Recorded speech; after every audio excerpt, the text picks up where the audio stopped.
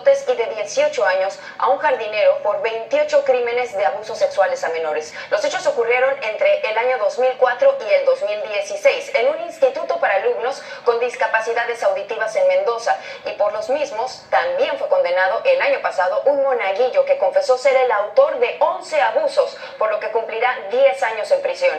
Tras la lectura del fallo, los familiares de las víctimas posaron en las escalinatas del desplegaron pañuelos exigiendo la separación de la Iglesia del Estado.